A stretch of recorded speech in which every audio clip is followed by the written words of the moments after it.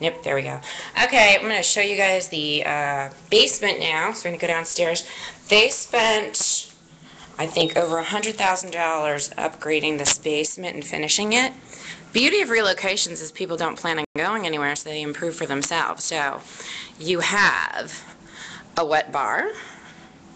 You have a refrigerator. You have a dart board, pub style. It comes with a pool table and all the accoutrement. Now over here is where they had their home theater area set up.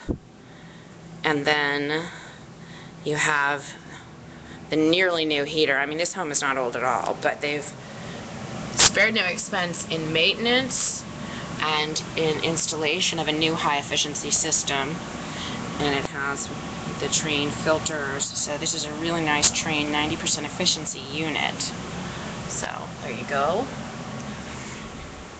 They also have a full bath with shower down here, as well as storage beyond that, Corian countertop. And don't forget, they've included two cleanings. Now they've left the space under the staircase open, which some people don't do, but they prefer to. And this was the area that they uh, they used as a guest room. Um, it was last used as a workout room, but it could be converted to a small theater room, or this wall could even be knocked back a little bit to make it bigger, or this one very easily. Then they also have storage, and it's been finished off as opposed to it's hard to see, as opposed to some people just leave the uh, bare cement walls. So everything was done with permits, everything was done to code. I will show you the egress window and the play, what they used as the uh, kids' play area. So this house is, I would say, nearly 5,000 square feet. I think it's formally listed at about 4,600. So anyway, so you have two additional closets here and this nice little play area with half walls. And you also have the egress window with steps going up into the backyard.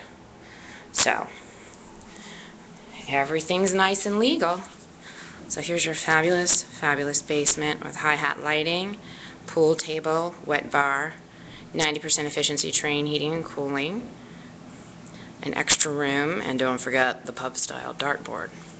So come on down and see 415 Draper Lane, Middletown, Delaware, Fox Hunter Crossing, um, listed for 383 but today we're taking sealed offers, and the best offer at or above appraised value gets the house.